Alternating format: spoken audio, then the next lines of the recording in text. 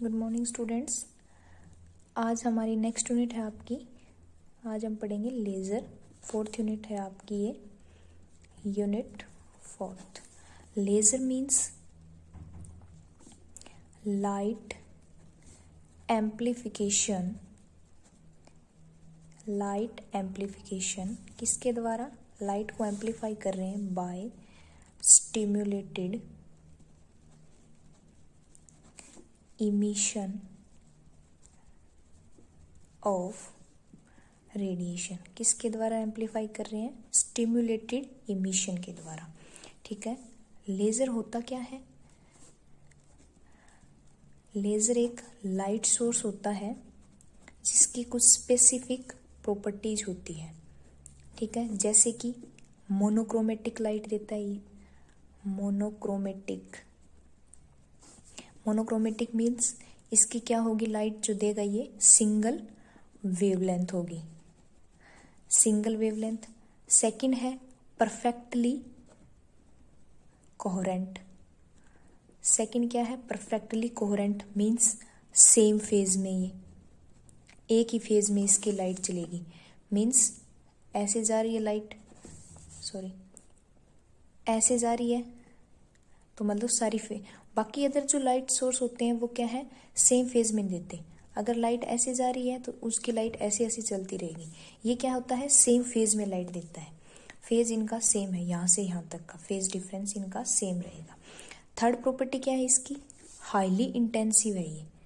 Highly intensive बहुत high intensity की beam हमें प्रोवाइड करता है ठीक है? फोर्थ है डायरेक्शनल। एक ही पर्टिकुलर डायरेक्शन में एक बीम की तरह ये हमें लाइट देगा। ठीक है? ये लेज़र की कुछ स्पेसिफल स्पेसिफाई प्रॉपर्टीज़ होती है। ठीक है? अब लेज़र में होता क्या है? तीन प्रोसेस होती है।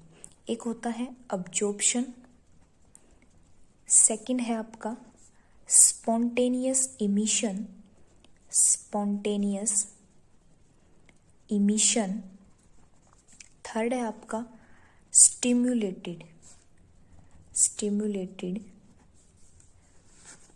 इमिशन ठीक है? तीन प्रोसेस होती है इसमें। अब्जॉर्प्शन क्या होता है? अब्जॉर्प्शन तो मान लो कोई एनर्जी एच न्यू एनर्जी का हम फोटोन दे रहे हैं, वो एटम कोई एटम उसको ऑब्जॉर्व करके एक्साइटेड स्टेट में जा रहा है। ठीक है? इमिशन मतलब वो एक एच न्यू एनर्जी का फोटोन इमिट कर रहा है। ठीक है? जो इमिशन होता है, ये बात हमें पता है एक लेवल से दूसरे लेवल में अब्जॉर्प्शन हो रहा है या फिर इमिशन हो रहा है तो एनर्जी को एक फॉर्म से दूसरी फॉर्म में हम चेंज कर सकते हैं। मतलब ना तो हम उसको क्रिएट कर सकते और ना ही एनर्जी को हम डिस्ट्रॉय कर सकते। ये चीज़ तो हमने पहले भी पढ़ी हुई है और जो ये एनर्जी का ट्रांसफॉर्मेशन हो रहा है, वो टेक प्लेस हो रहा है, वो किसके द्वारा हो रहा है? कोई वर्किंग सबस्टांस जिसका लेजर में मेन इंपॉर्टेंट रोल है वर्किंग सबस्टांस का। ठीक है? अब वन बाय वन हम तीनों प्रोसेस पढ़ेंगे लेजर की। फ़र्स्ट होता है अब्जॉर्प्शन अब्जॉर्प्शन में क्या होता है?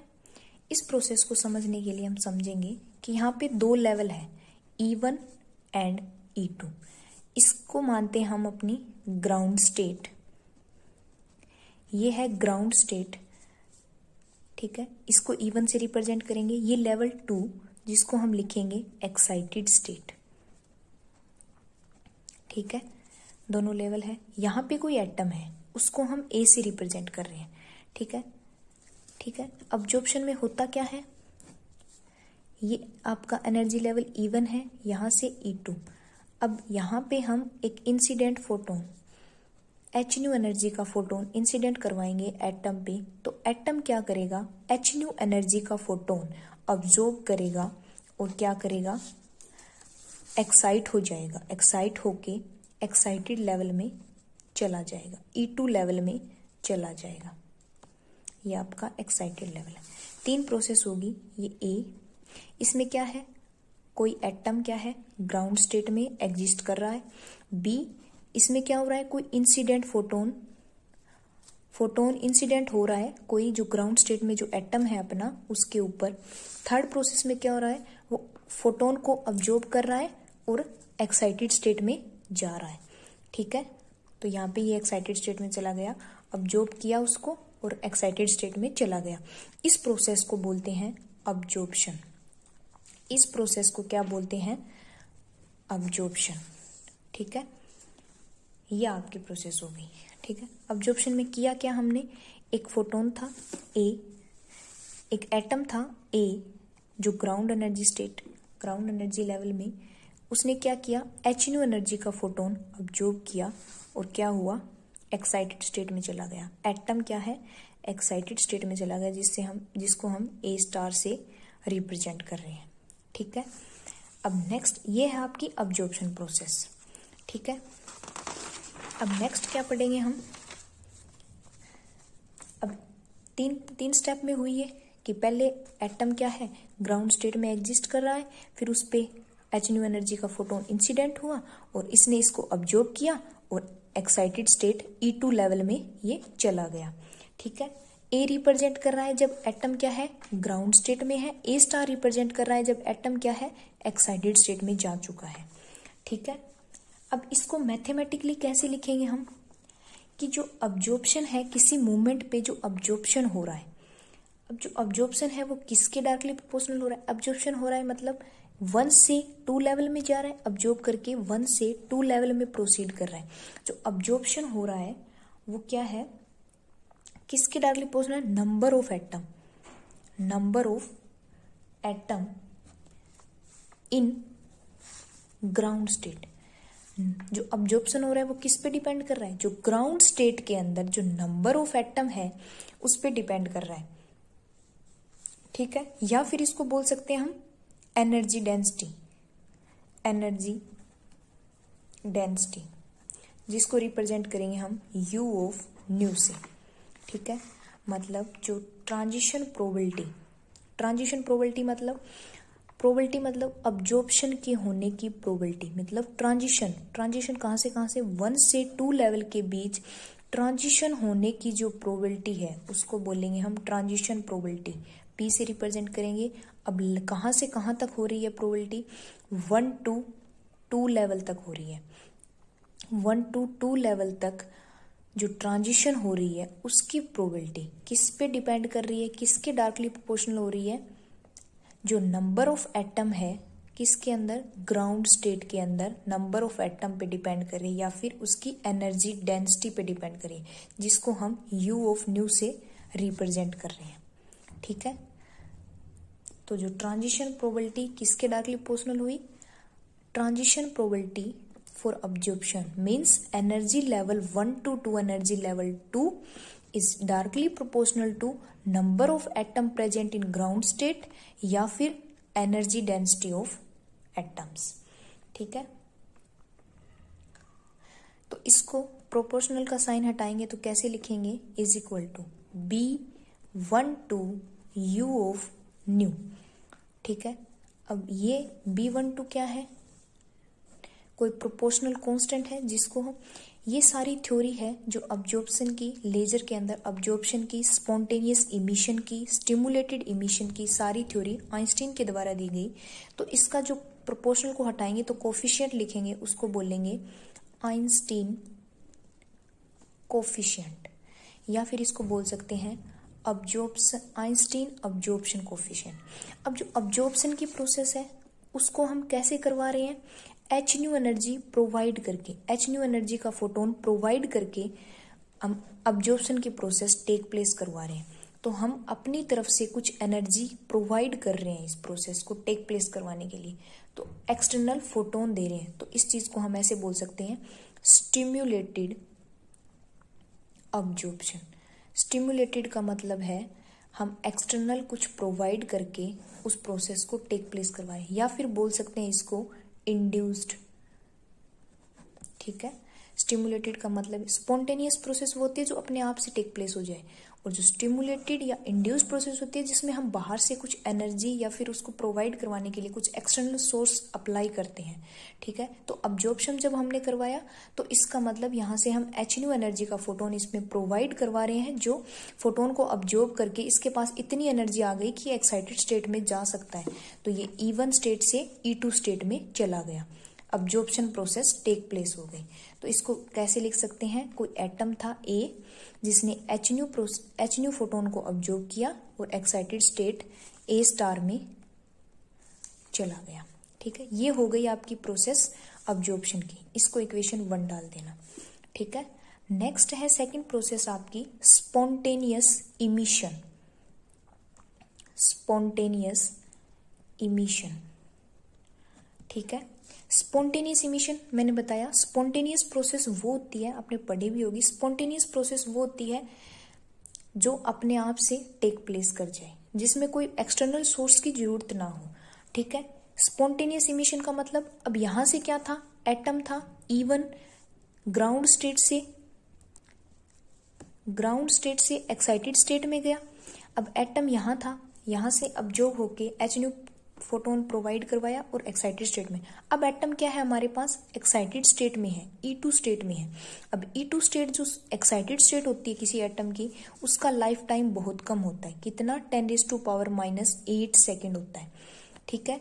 अब इतने लाइफ टाइम यहाँ रुकेगा और अपने आप से वापिस अपनी original state means ground state में वो आ जाएगा। ठीक है? एटम अपनी ग्राउंड स्टेट में जाए। तो यहाँ से क्या करेगा वो? एच न्यू एनर्जी का फोटोन जो उसने अब्जॉर्व किया था, उसको रिलीज़ कर देगा एनर्जी की फॉर्म में या उसको इमिट कर देगा। तो इस प्रोसेस को बोलेंगे हम spontaneous process spontaneous emission means ये एच न्यू एनर्जी का फोटोन क्या है? इमिट कर रहा है तो इस प्रोसेस को बोलेंगे हम स्पॉन्टेनियस इमिशन ठीक है? तो इसको लिखेंगे कैसे? रिप्रेजेंट कैसे करेंगे? इवन ग्राउंड एनर्जी लेवल और E two excited level excited state तो ये क्या है? ट्रांजिशन से पहले है। जब क्या है? अपना एटम जो ए स्टार है, वो कहाँ है? एक्साइटेड स्टेट में है। और यहाँ ये क्या है? ग्राउंड स्टेट तो ये है बिफोर ट्रांजिशन की कंडीशन बिफोर ट्रांजिशन और आफ्टर ट्रांजिशन क्या हो रहा है? ई टू से इवन में एटम टेक प्लेस कर रहा है। और क्या कर रहा है? एच न्यू एनर्जी का फोटोन रिलीज़ कर रहा है। ये कंडीशन है आफ्टर ट्रांजिशन की। ठीक है? तो इसको कैसे रिप्रेजेंट करेंगे हम? कोई एटम था ए स्टार जो अपना क्या था एक्साइटेड लेवल में था, वो क्या हुआ? वापिस ग्राउंड स्टेट में आ गया, अपनी ओरिजिनल स्टेट में आ गया और क्या किया? एच न्यू एनर्जी का फोटोन उसने रिलीज़ कर दिया। ठीक है? ये प्रोसेस होगी आपकी स्पॉन्टेनियस इमिशन प्रोसेस ठीक है? क्यों? क्योंकि यहाँ पे एक्साइटेड स्टेट में उसका लाइफ टाइम एटम का बहुत कम है ten raise to power minus eight he second है तो वो ten raise to power minus eight second रुकेगा, जो कि बहुत ज़्यादा कम है और अपना, वापस अपने ग्राउंड स्टेट में आना चाहेगा, क्योंकि उसके पास इतनी एनर्जी नहीं रहेगी कि वो एक्साइटेड स्टेट में स्टे कर सके, ठीक है? तो वो अपनी वापस ओरिजिनल पोजीशन में मीन्स अपनी ग्राउंड स्टेट में वापस आएगा और क्या करेगा? एच न्यू एनर्जी का फोटोन रिलीज़ कर देगा। ठीक है? तो यहाँ पे क्या था? एटम एक्साइटेड स्टेट में था। एक्साइटेड स्टेट से वापस क्या आया? ग्राउंड स्टेट में आ गया और एच न्यू एनर्जी का फोटोन क्या कर दिया? रिलीज़ कर दिया। इस प्रोसेस को बोलेंगे हम स्पॉन्टेनियस इमिशन अब मैथमेटिकली इसको कैसे लिखेंगे? मैथमेटिकली कैसे लिखेंगे इस चीज़ को? कि जो प्रोसेस हो रही है ट्रांजिशन प्रोबेबिलिटी ट्रांजिशन हो रही है ये दोनों। ट्रांजिशन अब कहाँ से कहाँ हो रही है? लेवल टू से लेवल वन के अंदर। तो transition probability P two one is equal to किसके इक्वल होगी? ये यहाँ ट्रांजिशन प्रोबेबिलिटी किस पे डिपेंड कर रही थी? जो नंबर ऑफ़ एटम प्रेजेंट थे, कहाँ पे? ग्राउंड स्टेट में। ग्राउंड स्टेट में कितने नंबर ऑफ़ एटम प्रेजेंट थे, उस पर डिपेंड कर रही थी। अब यहाँ क्या है? नंबर ऑफ़ एटम कहाँ प्रेजेंट है? एक्साइटेड स्टेट में। बट ये प्रोसेस अपने आप टेक प्लेस कर रही है। तो इस चीज़ की, ये, इस प्रोसेस में किसी की डिपेंडेंसी नहीं होगी। नंबर ऑफ़ एटम पे डिपेंड नहीं करेगी, क्योंकि ये अपने आप ही प्रोसेस हो रही है। ये सिर्फ़ डिपेंड करेगी। जो दोनों अपनी एनर्जी स्टेट है ईवन और ई टू दोनों एनर्जी लेवल है ईवन और ई टू उनके बीच के एनर्जी गैप के ऊपर डिपेंड करेगी ओनली स्पॉन्टेनियस इमिशन में जो अपनी ट्रांजिशन प्रोबेबिलिटी है, वो सिर्फ़ किस पे डिपेंड करेगी? लेवल टू से लेवल वन में आने के लिए जो उनके बीच, दोनों लेवल्स के बीच जो एनर्जी गैप है, उस पर ये क्या है? प्रोसेस डिपेंड करेगी एमिशन डिपेंड करेगा। और जो कि हमेशा क्या रहेगी? एक कांस्टेंट रहेगी। इनके बीच का जो एनर्जी गैप होगा, वो हमेशा कांस्टेंट रहेगा। और इसको रिप्रेजेंट करेंगे आप ए टू वन से। टू वन से मतलब ट्रांजिशन कहाँ से कहाँ? टू टू वन में हो रही है ट्रांजिशन तो टू से वन में तो एनर्जी लेवल के बीच में जो एनर्जी गैप होगा, उस पर डिपेंड करेगी और इसको मैथमेटिकली लिखेंगे probable transition probability of spontaneous emission P two one is depends upon the energy gap between the atom which is undergoes the transition level two to level one ठीक है? और जो अकॉर्डिंग टू आइंस्टीन आइंस्टीन क्या कहता है? जो energy gap होगा between two levels E two to E one is always constant और इसको एक्सप्रेस कैसे करेंगे? ए टू वन जो कि क्या है? अब्जॉर्प्शन को sorry emission कोफि spontaneous emission coefficient spontaneous emission coefficient तो ए टू वन को लिख देंगे हम. आइंस्टीन कोफिशियंट ऐसे भी लिख सकते हैं इसको। Einstein coefficient for spontaneous emission. ठीक है? Einstein coefficient for spontaneous emission. ठीक है? तो इसको ऐसे भी रिप्रेजेंट कर सकते हो P two one level two transition probability for level two to one कौन सी प्रोसेस है? Spontaneous is equal to A two one means जो आइंस्टीन कोफिशियंट है ट्रांजिशन प्रोबेबिलिटी के लिए। और प्रोसेस कैसे हुई है? एक्साइटेड स्टेट में था, अपने आप से क्या है? वापस अपने ग्राउंड स्टेट में आ गया और एच न्यू एनर्जी का फोटोन रिलीज़ कर दिया। तो इसको इक्वेशन टू दे देंगे। ये हो गई आपकी स्पॉन्टेनियस इमिशन प्रोसेस। ठीक है? नेक्स्ट है थर्ड आपका। थर्ड क्या है आपका? स्टिमुलेटेड। स्टिमुलेटेड इमिशन या फिर कैसे लिख सकते हो आप इसको? इंड्यूस्ड इमिशन ठीक है? स्टिमुलेटेड इमिशन या इंड्यूस्ड इमिशन अब हो क्या रहा है? इसमें भी क्या है? लेवल टू से लेवल वन में आ रहा है। एटम एक्साइटेड स्टेट में है। एक्साइटेड स्टेट से ग्राउंड स्टेट में आएगा। लेवल टू से लेवल वन में आएगा। बट क्या, कैसे आएगा? स्टिमुलेटेड इमिशन से। मतलब हमें इसका इमिशन करवाना पड़ेगा। कैसे करवाएँगे? जब ये एक्साइटेड स्टेट में एटम होगा तो ये एक अनदर फोटोन कोई एक्सटर्नल फोटोन होगा एच न्यू एनर्जी का ही, उससे इंट्रैक्शन करेगा और अपना क्या है? इमिशन कर देगा। मतलब एक तो जो ये ऑब्जॉर्व करके गया था, उस एच न्यू का, उस फोटोन का, और जो एक इसने बाहर से इंट्रैक्शन किया है, उस फोटोन को इमिट कर देगा। मतलब एटम जब क्या है अपना एक्साइटेड स्टेट में है तो ये एक एक्सटर्नल फोटोन एच के साथ इंट्रैक्शन करेगा और अपनी ओरिजिनल स्टेट ए में आ जाएगा प्लस दो एच क्या करेगा रिलीज़ कर देगा इमिट कर देगा।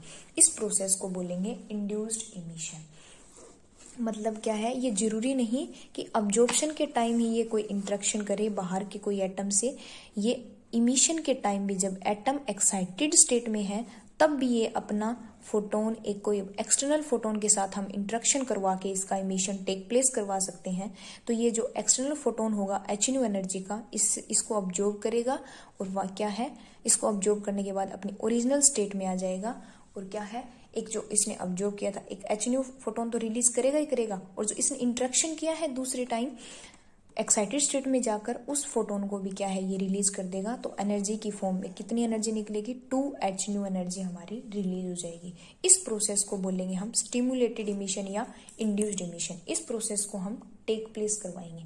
कैसे करेंगे कि जब कोई एटम एक्सटर्नल फोटोन के साथ इंट्रैक्ट करता है तो ये ज़रूरी नहीं कि एटम अब्जॉर्ब ही करे फोटोन को, वो फोटोन के साथ इंट्रैक्शन करके उसका इमिशन भी कर सकता है।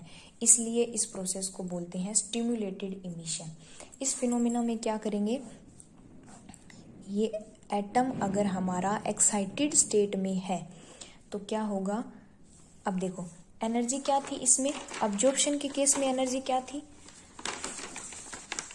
अब्जॉर्प्शन के केस में एनर्जी क्या थी? ईवन और क्या है? एच न्यू फोटोन अब्जॉर्ब कर रहा था और ई टू स्टेट में जा रहा था। तो E two minus E one क्या है अपना? एच न्यू के इक्वल और सेम यही एनर्जी क्या है? स्पॉन्टेनियस इमिशन के टाइम थी। E two minus E one is equal to H nu ठीक है? और यहाँ भी क्या है एनर्जी हमारी? E two minus E one is equal to H nu ये एनर्जी थी। जब ये एटम क्या करेगा? एक अनदर एक्सटर्नल फोटोन को अब्जॉर्ब कर रहा है एक्साइटेड स्टेट के अंदर और क्या है? अपना एक फोटोन एक फोटोन जो इसने ऑब्ज़र्व किया था, उसको एक जिसके साथ इसने इंट्रक्शन किया है एच न्यू इसको, दोनों को क्या कर रहा है? रिलीज़ कर रहा है. एच न्यू को रिलीज़ कर रहा है. तो इसकी ट्रांजिशन प्रोबेबिलिटी किसके इक्वल होगी? दो फोटोन को रिलीज़ कर दिया तो इसकी transition probability P two one transition probability from level two to level one of induced emission is depends upon is depends upon number of atom present in excited state या फिर energy density ठीक है? तो P two one induced is equal to darkly का sign हटाएँगे तो P B two one u of nu ठीक है? ये भी क्या आएगा आपका एक Einstein coefficient Einstein coefficient for induced emission. Induced या stimulated इमिशन ठीक है? और यूनु क्या है आपकी? एनर्जी डेंसिटी ऑफ़ रेडिएशन या एटम्स ठीक है? तो ये आपकी आ गई थर्ड इसको बोलेंगे आप स्टिमुलेटेड इमिशन अब जो आपकी फ़र्स्ट प्रोसेस से क्या आया है? अब्जॉर्प्शन से अब्जॉर्प्शन से आपका क्या आया था? ई टू माइनस जो एनर्जी लेवल ई वन और ई e टू था आपका, वहाँ से फोटोन अब्जॉर्ब कर रहा था और एक्साइटेड स्टेट में जा रहा था। ये प्रोसेस अब्जॉर्प्शन थी। E two minus E one is equal to H u energy थी इसकी और जो प्रोबेबिलिटी ट्रांजिशन प्रोबेबिलिटी है वो किस पे डिपेंड कर रही थी? ट्रांजिशन प्रोबेबिलिटी डिपेंड कर रही थी B one two B one two u of nu transition probability किस पे डिपेंड जब लेवल वन से लेवल टू में जा रहे हैं तो ट्रांजिशन प्रोबेबिलिटी किस पे डिपेंड कर रही है? उसकी एनर्जी डेंसिटी पे, ठीक है? ये आपकी फ़र्स्ट इक्वेशन थी। सेकंड प्रोसेस हमने पढ़ी है स्पॉन्टेनियस प्रोसेस स्पॉन्टेनियस इमिशन ये था आपका अब्जॉर्प्शन या फिर इसको लिख सकते हो आप स्टिमुलेटेड ऑब्जॉर्प्शन या फिर इंड्यूस्ड अब्जॉर्प्शन क्यों? क्योंकि हम बाहर से हम एच न्यू प्रोवाइड करवा रहे थे, उसको एक्साइट करने के लिए, उसको एनर्जी प्रोवाइड करवा रहे थे फोटोन के रूप में ताकि एटम एक्साइट होकर एक्साइटेड स्टेट में चला जाए। ठीक है? सेकंड क्या पढ़ा था आपने? स्पॉन्टेनियस इमिशन स्पॉन्टेनियस इमिशन में क्या था? एटम क्या था आपका? एक्साइटेड स्टेट में था। एक्साइटेड स्टेट में क्या था? एक्साइटेड स्टेट से वापस अपने ग्राउंड स्टेट में आ रहा था और एच न्यू एनर्जी का फोटोन रिलीज़ कर रहा था। ठीक है, वापिस अपनी ग्राउंड स्टेट में आ रहा था। यहाँ से क्या था? एक एटम था, वो एच न्यू एनर्जी का फोटोन अब्जॉर्ब कर रहा था और अपनी एक्साइटेड स्टेट में जा रहा था। और यहाँ से एक्साइटेड स्टेट में है, वो क्या है? अपनी ओरिजिनल स्टेट में आ रहा है और एच न्यू एनर्जी का फोटोन रिलीज़ कर रहा है। अपने आप से ये प्रोसेस टेक प्लेस हो रही है। इसको इसको बोलते हैं स्पॉन्टेनियस इमिशन और इसकी ट्रांजिशन प्रोबेबिलिटी किस पे डिपेंड कर रही थी? U of nu sorry A of two one मतलब ये कांस्टेंट के इक्वली आ रही थी, क्योंकि ये किसी पे डिपेंड नहीं कर रही। ये दोनों एनर्जी लेवल्स है, इनके बीच जो एनर्जी गैप है, उस पे डिपेंड कर रही है। तो P two one is equal to किसके आएगा? ए टू वन के इक्वल आ जाएगा। ये भी क्या है आपका?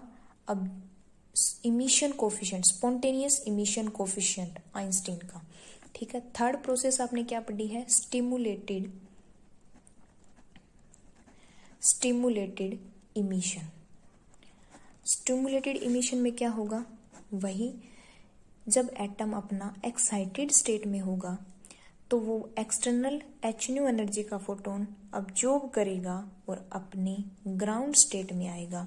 तो क्या रिलीज़ करेगा? एक तो जिसने स्टार्टिंग में इसने अब्जॉर्ब करके एक्साइटेड स्टेट में गया था, उस एच न्यू फोटोन को रिलीज़ कर देगा और एक इसने जो एक्साइटेड स्टेट में जाके एक फोटोन के साथ इंट्रैक्शन किया है उसको।